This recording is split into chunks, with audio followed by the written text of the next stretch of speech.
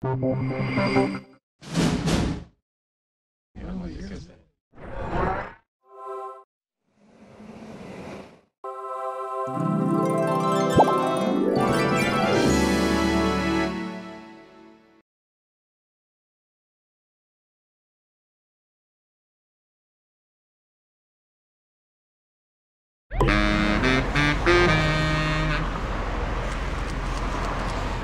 me, Chief Wiggum? Can you help? I've got to find my brother. Ah, sorry, little girl. I'm busy collecting evidence on Jailbird. We're busting him on the three strikes law. How many strikes do you have so far? Ah, uh, no strikes. But that's only because I'm a very, very bad cop.